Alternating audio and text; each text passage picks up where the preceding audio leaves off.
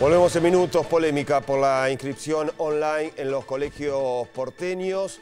Una marcha de protesta hoy frente al Ministerio de Educación de la Ciudad de Buenos Aires. Así es, los padres de los alumnos denunciaron irregularidades en el sentido de estas inscripciones online que no están dando respuesta a las necesidades ni de los padres ni de los chicos. El nuevo sistema online que implementó el gobierno porteño para inscribir a los alumnos de escuelas públicas dejó a decenas de chicos sin su vacante para 2014. Esta tarde se llevó a cabo una movilización de padres y alumnos para expresar sus quejas y reclamos frente al Ministerio de Educación porteño. El titular de esa cartera, Esteban Bullrich, salió al cruce de las denuncias y aseguró que atenderá los reclamos de manera personalizada. Reveló que ya recibieron unas 3.000 solicitudes y quejas. Los padres aseguran que a pesar de haber optado por varias opciones no pudieron conseguir un lugar en ningún colegio y la línea telefónica 147 no atendió sus llamados. La ausencia de vacantes se da principalmente en el caso de chicos de entre 1 y 4 años. Mi caso en particular es que mi hija cursando la sala de 5 de un jardín de infantes le fue denegada la vacante en primer grado en la misma escuela.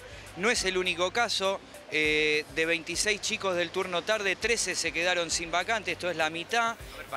pero tu hija viene cursando jardín y entra, pero eh, no entra directo, si es así, si está cursando jardín, ¿no entra directo a primer grado? Según el reglamento sí, según el reglamento sí, pero de acuerdo al mamarracho de inscripción que hicieron, eh, no hubo eh, el respeto que merecía el reglamento en las prioridades o en los ingresos directos. Nosotros hicimos el trámite online y tuve dificultad para entrar al sistema. Me pude inscribir recién a las 2 de la mañana del día siguiente de que inició la inscripción.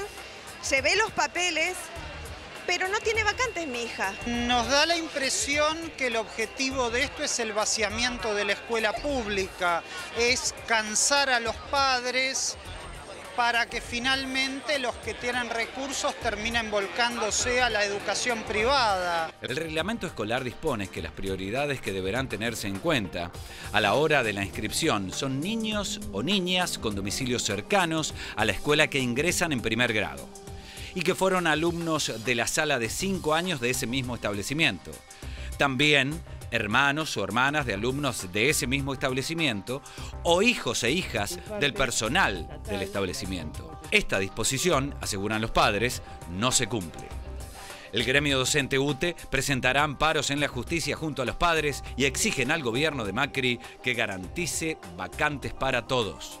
Que le pedimos al gobierno de la ciudad es que cumpla con el artículo 24 de la Constitución de la Ciudad de Buenos Aires y garantice el derecho social a la educación de todas las personas que se inscribieron en las escuelas públicas. Nada más y muchas gracias.